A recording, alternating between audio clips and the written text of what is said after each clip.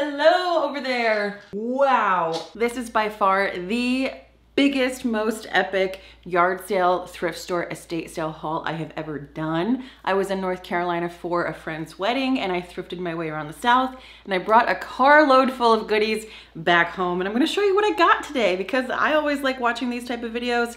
So I hope you do. If you do, please give this video a big thumbs up and consider subscribing. I make videos on all things home. So home decor, thrift store, hauls, uh, upcycles, DIYs, home renovations, garden content, all that kind of jazz. So if you're interested in videos like that, you might be interested in sticking around and watching some of my other videos. Let's just start with lighting. Look at this candle holder.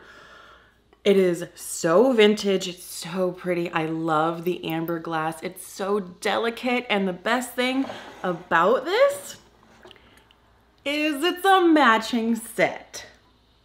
It is so rare to find vintage matching sets of candle holders or candelabras or something like that. It's really, really hard to find. So if you find a matching set of two vintage pieces, buy both of them. I promise you, you will not regret it. Buy both of them. But if you put a long candle in it, it kind of sticks out of the top. That's kind of cool, but it'll burn down and then be inside of the globe. And then the amber glass will just kind of radiate that warm candlelight even more. Love these, love these, love these. I got these for $5 a piece.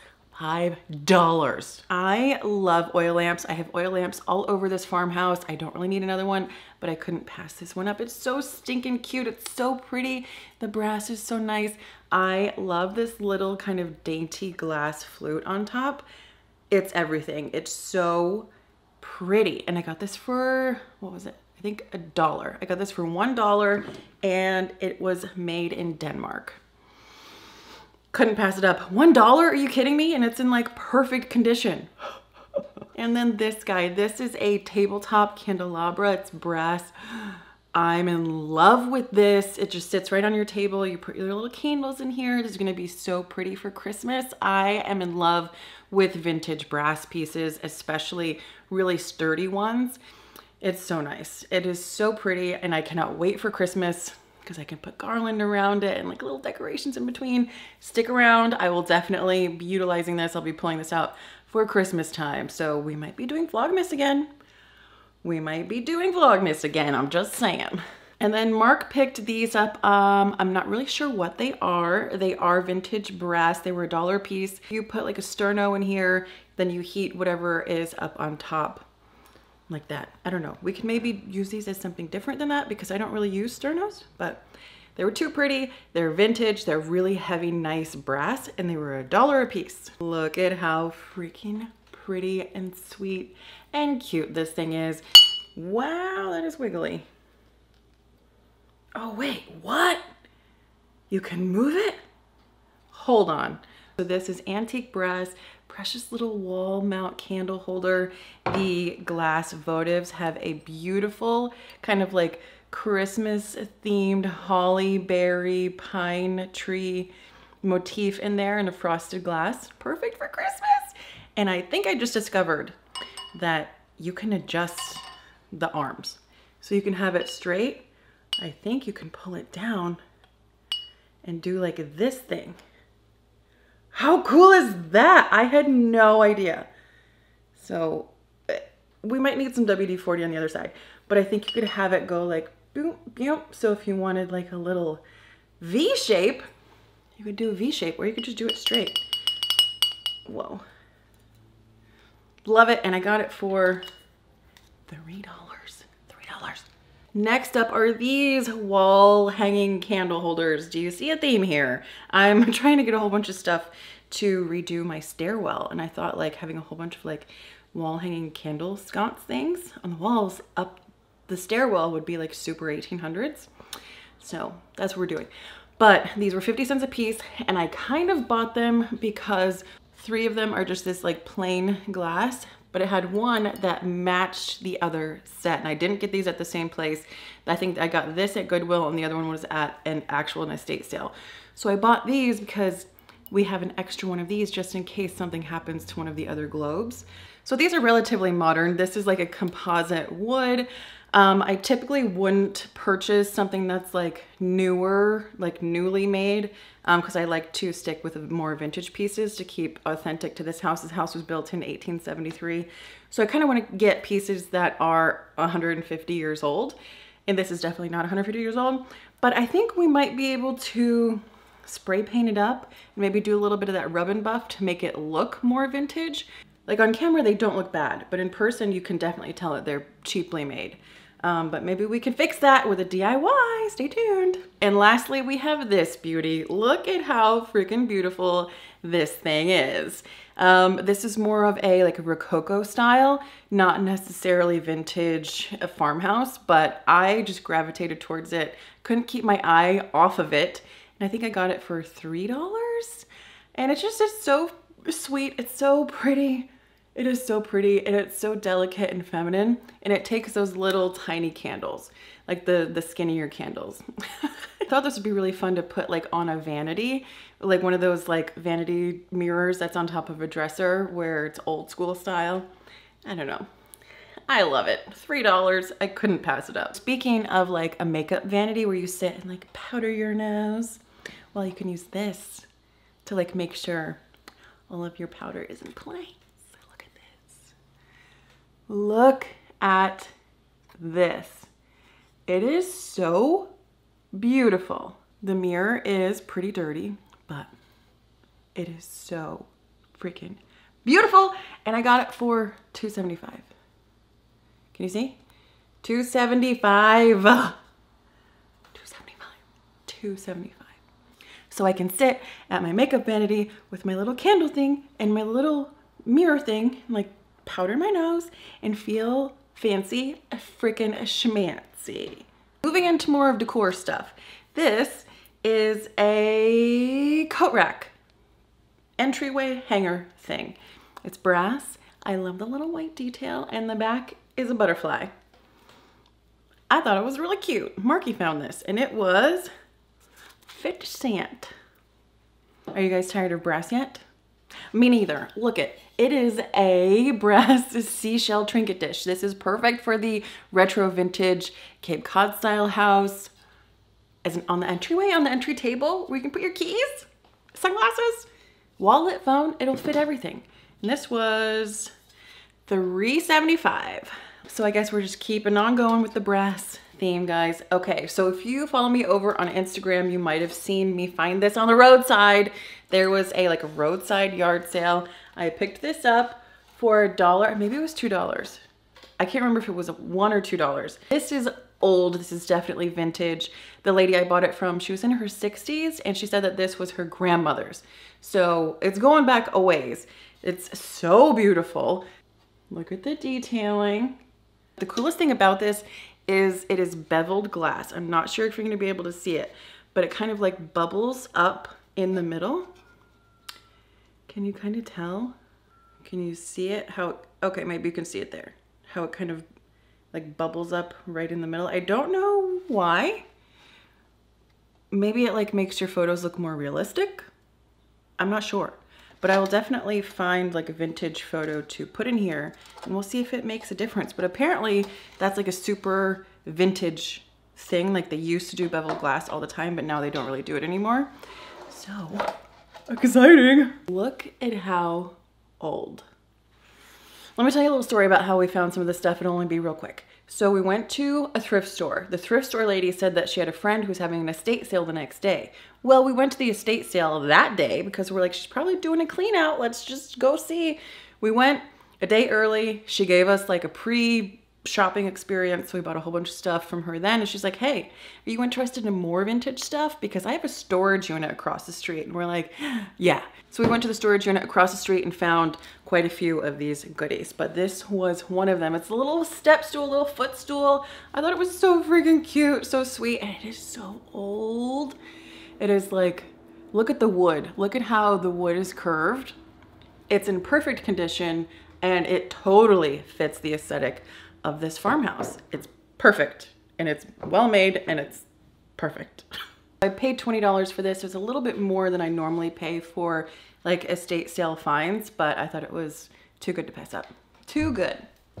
It is like 105 degrees here today, y'all, and I don't have air conditioning. Bear with me. I don't know what this is, but it is cute.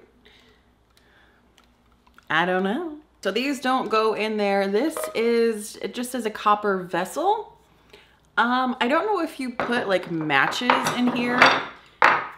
I'm kind of thinking you might put like matches in here and then put like a match striker in there.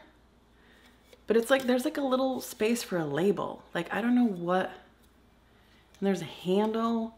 Maybe it's like a scooper and you dump it out. I don't know. I already, I do have another one of these that's a little bit taller. If you guys know what this is used for, let me know in the comments below. And these guys, I'm not sure if they're like hammers, like original like mallets. They're very, very lightweight. And this is like, has a really pretty detail on the bottom. I'm kind of thinking they're like judge, like gavels, like a judge, a gavel? Mallet. Like a judge gavel, right? Like court adjourned, like that, right? All three for $5. So some of these have tags on them um, because the lady was a like a vintage reseller and she had a booth at a, like a vintage market, but she was selling these things like as like regular estate sale type of stuff. So a lot of things that have tags that have prices on them weren't what we paid for them. Like this thing says it's $14 just for this, but we got the whole shebang for $5. So if you see some price tags on there, that's what that was. Irons! Now, if you guys don't know, this is how people used to iron their clothes. So these are made out of iron. You would set them in the fire and get them really, really hot. Not in the fire because you don't want to get soot on them, but like you'd probably hang them above the fire so they'd be hot. And then you use the weight of them and the heat to iron out your stuff. But the coolest thing is they match. It is so hard to find vintage irons like this that are the same size, it's nearly impossible. So when you can find two that are the same size, the same weight, because they would make them in different weights. So if you can find a matching set, buy it. And the thing that I like to do is use them as bookends. It's the best when you have like a vintage shelf with some really awesome books in the middle and you have these irons as bookends. It looks so good. I think we're moving into like some kitchen stuff. Oh, let me just show you the baskets first. Let me show you the baskets. I got a lot of baskety things. So cute. I don't know if this is actually like vintage. It, it seems pretty thin, but I mean, it looks patinaed like it is vintage, but I thought like, if not a planter, maybe kitchen organization. I don't know. I loved it and it was $1. Here's another little basket. This one was $1 as well. I don't know what I'm gonna use it for, but you always need storage baskets, right? This is a little chicken wire basket. I actually have one of these that I got off of Amazon. It came with three mason jars in the middle where you can put like uh, cotton balls, Q-tips, cotton swabs, whatever for like bathroom storage. Um, I will, if they still make these, I'll link it below because you can actually buy this with the jars in it. Um, but we, since we already had one, I thought it might be kind of fun to have a matching one. And I think we got this for like a quarter.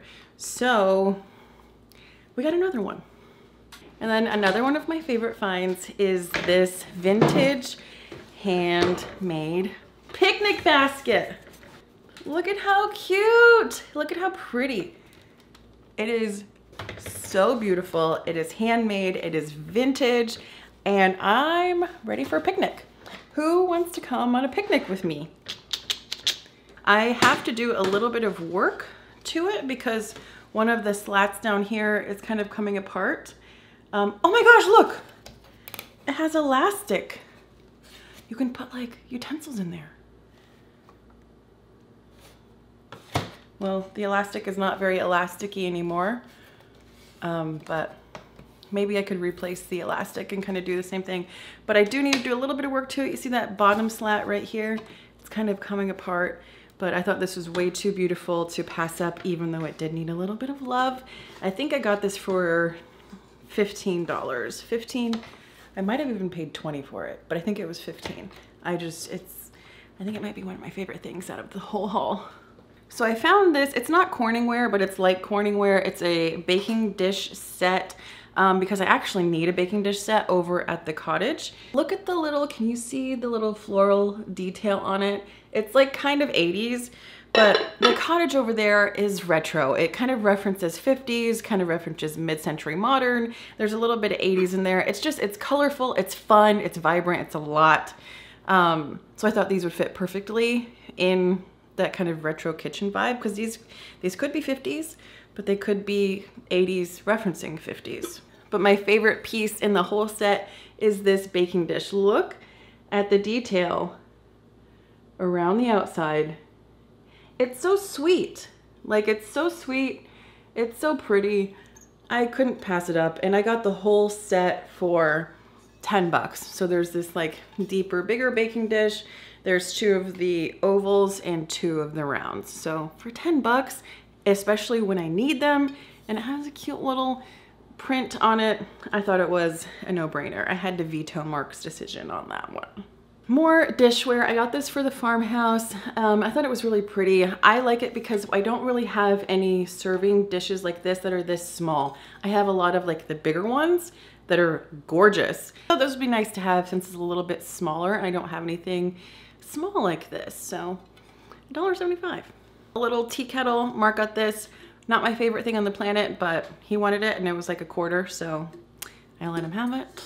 Now this set, I have a little story to tell you about this set. So I found these at that estate sale. Look at how freaking pretty they are. So this is like a green glass. It's smooth on the inside, but the outside has like kind of a fruit motif. You can see like apples and cherries and pears in there. I just loved the green, the green glass. I haven't really seen a lot of green glass like this. So I got this big bowl and this baking dish at the estate sale for $5 for the pair. And then a couple days later, we went to Goodwill and I found this. It's the exact same. I found this one for $3.75, but it is literally the exact same. Like, the exact same. It goes with the set. How random is that? How random? They're the same. It's crazy. I was meant to be. I was supposed to have the whole set. Thank you. More dishware coming your way. This was really cute and I thought it was fun that had like a rope we can just like hang it on the wall. I've never really seen anything like this. And the bottom looks like a Bundt cake, but the inside, oh, the inside is kind of like Bundt cake-ish as well. I don't know, three bucks. Can't pass it up. And then this one is just pretty. It's made in Japan. I thought for the Cape Cod style house, also one of my clients is super into Japanese ceramics. So if this doesn't fit over in the cottage, I might just gift this to him. Just random because I needed it. Anchor hocking, $1. A grinding stone to sharpen your knives, 25 cents. This, it's a napkin holder. I don't really use like paper napkins, but I thought maybe instead of napkins, it could be mail. Maybe we could just like put our mail behind it. Like, oh, this is the mail that came today. Sift through it. A little trinket dish. Look at how sweet. It's so pretty. I think this was a dollar. Couldn't pass it up. It's just like so vintage and so cute. Like the paint is totally coming off, but I thought it was definitely like vintage farmhouse. It's like a seashell wall hanging thing. I think people use it as like a cigarette ashtray. Like I think that looks like cigarette ashy in there. I'm Like hang it on the wall and like your cigarette stuff goes in there. I don't know what I'm gonna use it for, but I thought it was really pretty. Yes, please. This one has little palm trees on the end. It's silver. I don't know if it's like actually silver silver, if it's like plated silver, who knows. But I thought it was adorable for somewhere. Now this is carved out of wood. Look at how pretty. It has a little rhino in there. I've seen some of these like carved out of ivory. If it was ivory, I probably wouldn't have purchased it, but it's carved out of wood. And I love how like pointy the fork is. I don't know if I'd actually use this or just like hang it on the wall because it's so unique and so pretty. I bought it. If you guys follow me over on Instagram, you might have seen in my stories that I was interested in this vase. I bought it. It is so pretty. It is so pretty. But look, I found this one. this one says on the bottom, Ironstone. I think that says 1873 in England. So, Vantage. It's the same year as my house. I had to buy it. So Mark found this. I think you like like uh, cookies, maybe. Maybe it's icing.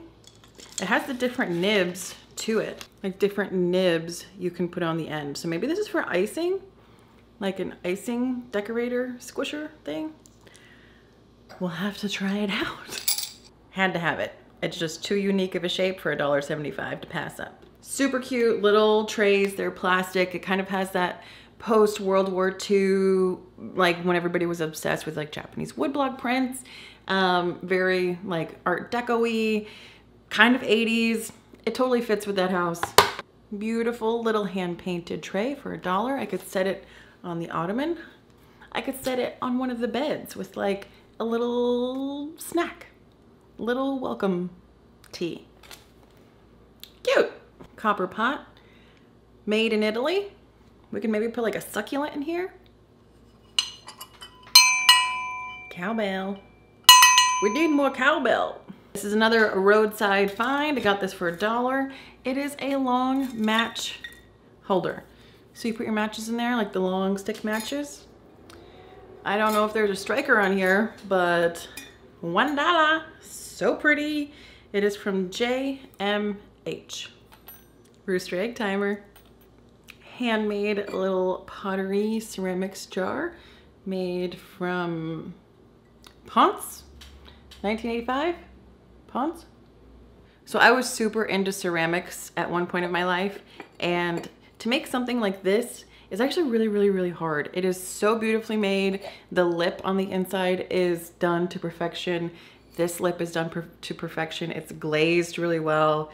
Like this is a beautiful, beautiful little trinket dish bowl thing. It's made really, really well. These things are to take the lid off of a coal burning stove. So you can like take the lid off, and put more coal in it. Um, I'll, I'll insert a little clip of where I, I've used it before, but got these things. Okay, we're almost done. Look at how cool this is. It's for all of your drill bits. You all put all of your drill bits in here. I thought that was too cool. Got some books.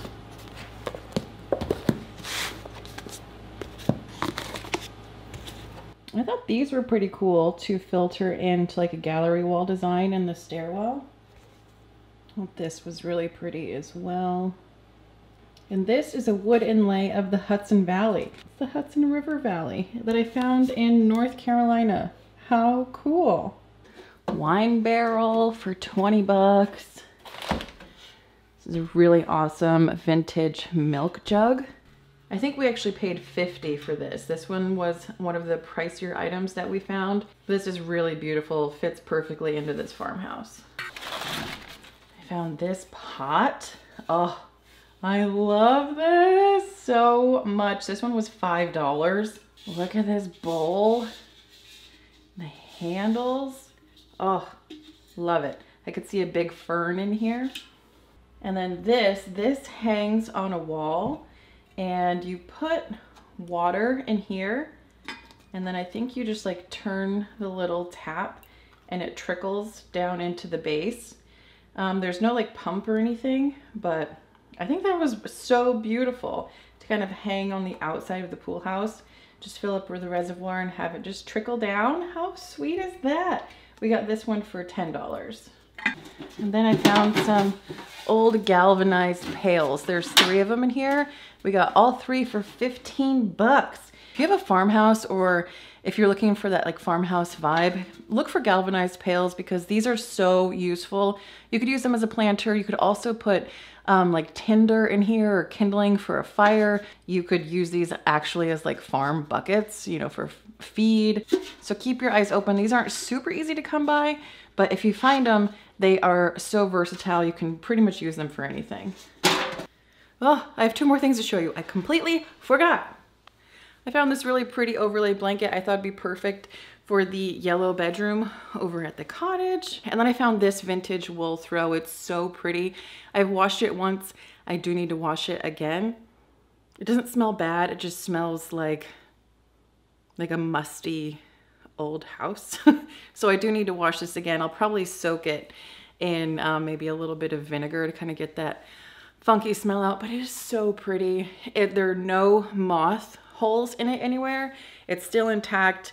Um, it's, it's wool. It's so pretty and vintage. And I love this. this. I got this one for 15 bucks and I got the yellow blanket for I think $5. Okay, I think that is it. Thank you so much for hanging out with me. I hope you guys enjoyed this haul of all of my fun finds that I found all around the South, especially in North Carolina. Let me know in the comments below what your favorite thing is, and I will see you all on the next one. Bye.